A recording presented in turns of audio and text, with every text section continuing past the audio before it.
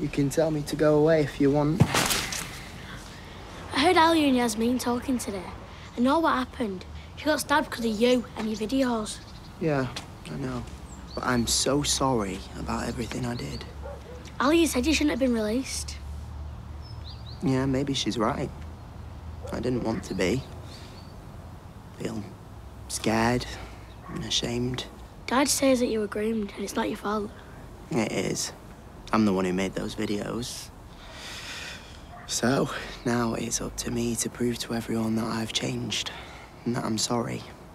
Have you changed? Yeah. Good, because you were an idiot, a racist idiot.